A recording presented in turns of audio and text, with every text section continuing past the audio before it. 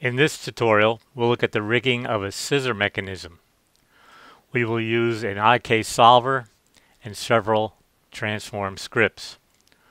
We'll start by isolating the links that form a basic four-bar linkage. These links here. So let's get started. Here's a labeling scheme for the mechanism. I've used odd numbers for the light blue links and even numbers for the red links.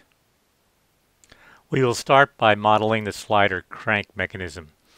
Right here I have a short link and a long link and a dummy object. If we look at these two links, you'll notice that the light blue links have their pivot point on the top of the link and the red links have their pivot point on the bottom. This keeps all the pivot points in the zero z plane. So everything will be essentially on the xy plane and we can be sure to have a 2D mechanism. I've already linked these three components together so they're free to move. What I'd like to do is uh, position it with respect to my dummy base. So we'll go here and just uh, click on that and we'll keep the XYZ position, apply that. Now that's centered. I'm going to link this mechanism to dummy base. I'm going to link all the components in this mechanism to dummy base. This will allow me to move the dummy base around and position my final mechanism anywhere in 3D space. First thing I'm going to do is uh, rotate the first link, essentially called the crank. I'm going to rotate that by 70 degrees, as you see here, and the red link by minus 7. These, these are arbitrary uh, angles, but I don't want to start off with a straight line for all the links. So now I can select the base and go to my animation IK solver, HI solver, and link it to the dummy that's linked to the long, long link. So now I can move that around and I have my basic slider crank mechanism. I'd like to limit that to only work in the x-axis. So what I'm going to do is come over here and do my link information and check Y and Z. So this will ensure that I can just keep that motion to the x-axis. Notice that when I rotate dummy base, the mechanism doesn't rotate along with it. This is because I haven't linked the IK chain to dummy base. So let's do that now. So I'm going to link that. We'll come here and select it by name, dummy base. So now if I go and rotate dummy base, the entire mechanism will rotate. Alright, so we have that action the way we'd like it. The next thing to do, whoops, when I move this, I really want to grab the IK chain and not the dummy. Alright, so that's our action. And now we would like all the other links to line up and work with this blue and red link. Now I've numbered this link here as S0 for short 0 and this link L2 for long 2 as we saw in our original uh, labeling diagram. Let's add a link to this mechanism. So we'll go down here and take one of our master links and use edit clone to make a copy and we're going to call this link L4. The even links are the red links and the odd links we've chosen to call those uh, blue, the blue links. So I'll just temporarily put it up here. And the first thing we want to do is come over to our motion tab, hit our assigned controllers, and we're going to use transform here. And when I use transform, we're going to apply a transform script to this link. You'll notice that in the transform script, we see right now matrix 3, and it's got several numbers after it. These are four sets of vectors. 1, 2, 3, four. This is uh, the first three sets, the first three vectors have something to do with the orientation 3D space. We'll ignore that for now, so we're not going to look at these three components. The last row of these four rows or four vectors defines the position in space of the particular object. So if we were to change this from, let's say, uh, 722 as we see here to uh, 650, 650, and then click evaluate, you can see it moves so that it has an X position of 650. What we want to do is position this thing with regard to the behavior of these two links. So I'm going to define two uh, variables. The first one I'm going to call TS0. The T for me means transform link S0 and I'm going to create that and we'll assign it to the track of object S0. So we expand that. I'm going to double click transform. So TS0 is target is S-link the transform component. I'm also going to create a variable called TL2. Now I've used a capital L here and capitalization is important. I found that if I use a lowercase l it's sometimes hard to distinguish from the number 1. So I'm going to call this TL2 with L being a capital. We'll create that variable and assign it to the track for link number 2 and we'll assign it to its transform. Alright, so now I can come up here and I can replace this matrix. If I put TS0 there and say evaluate, whoa, where did it go? Well, it went way over there. Why? Let me turn the grid on for a second. You can see it positioned it to 0, 0, 0 because I haven't linked this to my dummy base. Remember, we're going to link all our components to dummy base. So I'm going to link this to dummy base. Now you can see it placed this at the 0, 0 of, of dummy because that's where this first link is. S0 is located at, at dummy base. If we were instead to put in here TS, TL2, TL2 and evaluate that, where would it place it? Whoa, why would it place it there? Well, if we look at this, TL2 is positioned along the x direction of TS0 by short link. The distance from here to here is 200. So it's really pushing position this out 200 in x with respect to dummy base. And the rotation is equal to the rotation of this long link of this link with respect to dummy base. So what would happen if we were to multiply the transform matrix for TL2 times the transform matrix for, for S0. Let's evaluate that. Well, you can see it put it directly on top of that link. So we can multiply matrices together. So we're taking the matrix for the short link and then multiplying it by that. This is different than doing it the opposite way around. That is, if we were to say T S0 times uh, TL2, this would give us a much different uh, TS, I, I misspell that T, we'll get a much different result. So we really want to do the end, the order we do this is to specify, evaluate that. We're going to uh, specify the parent, then the child. So we're going child, parent, child, parent down the line if we had a longer uh, expression to evaluate if this link or further down in the chain of links. Okay, so we know where that position is. But we don't want to put it there. We really want to place this over to the right a little bit from this, this new link. Link 4 has to be to the right somewhat in the x direction. So what I'm going to do here is in this here, I'm going to say m is equal to this. We'll set up a new variable, m. We'll call that m for matrix. Matrix is defined as the product of these two matrices. And now what I'd like to do is say m, m dot row 4. So I would like to extract row 4 of the matrix m. Remember that row 4 is the position vector of the uh, matrix. And I'm going to say that is equal to well, in the x direction, what we've positioned, if we come straight down here, this distance is what the current value of x is, and we'd like to really double that distance. So I'm going to set that equal to m dot row 4, and I'm going to multiply that two times, I've got to watch my typing here, row 4, not row 5, row 4.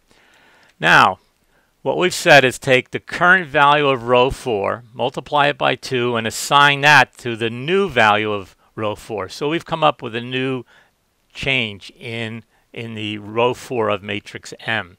If we click Evaluate now, we get an error message.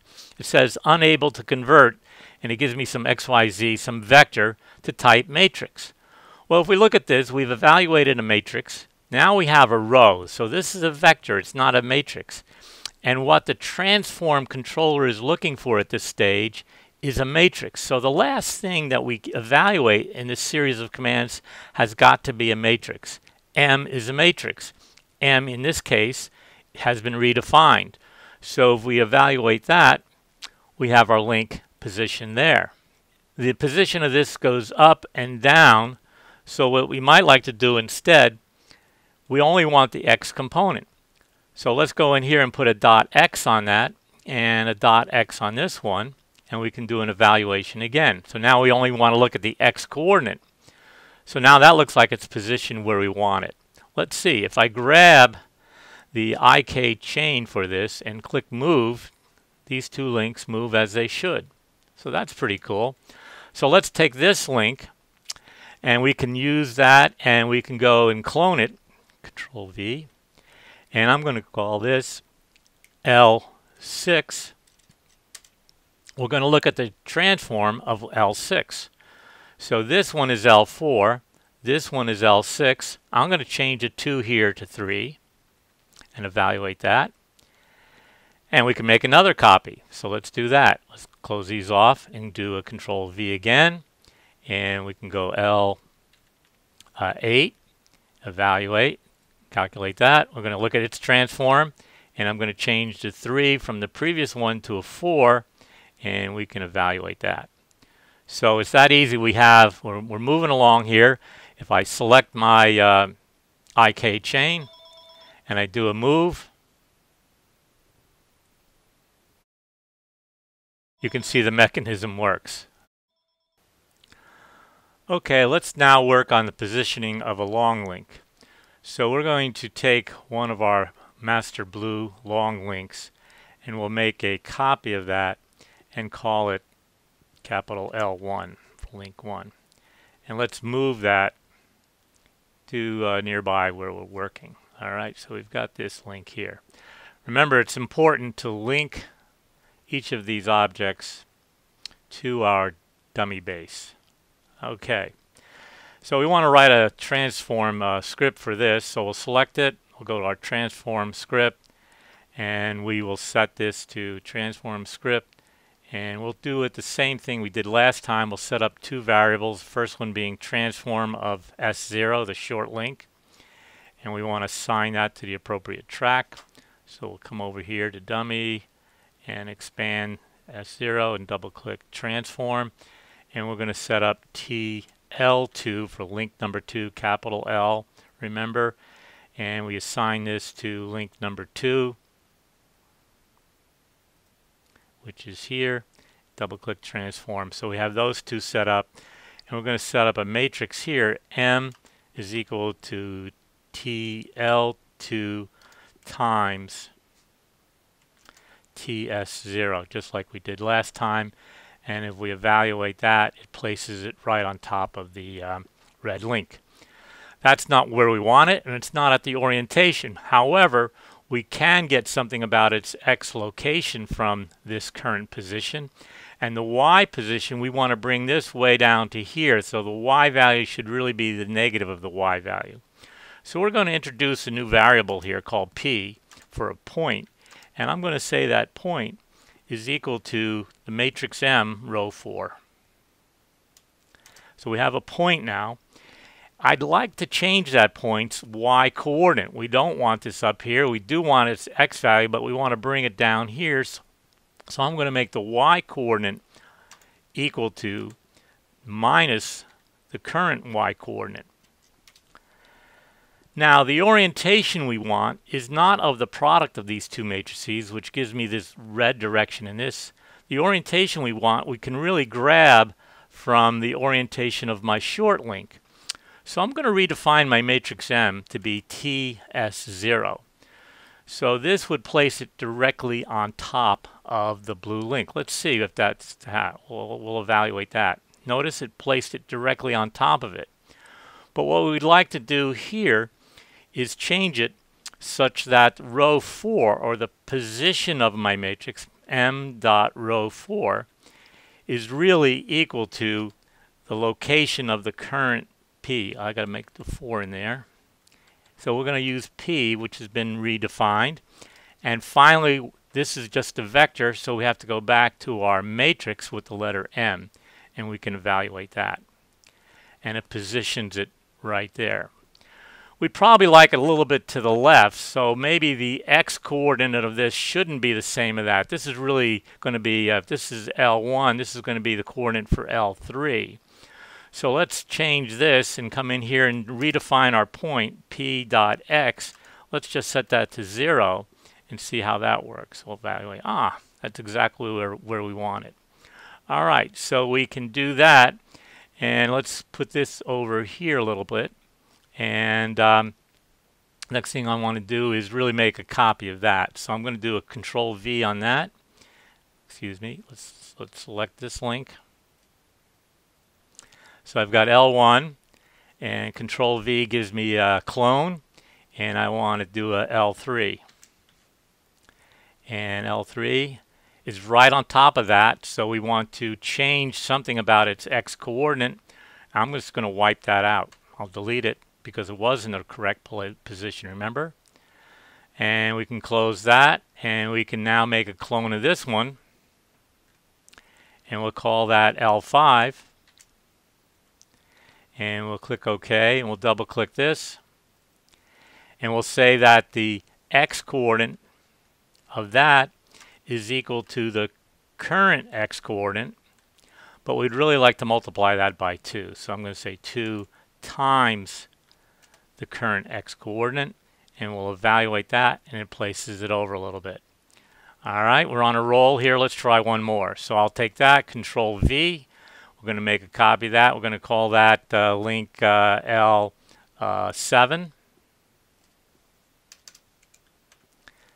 and we'll click OK, do the transform here. And uh, we'll change the 2 here to a 3 and evaluate that and it looks like we're moving right along. So you get the idea. We can now grab the IK chain and we have our scissor mechanism working pretty nicely. Again, this will work in 3D and we can go on and create the rest of the links in a similar fashion.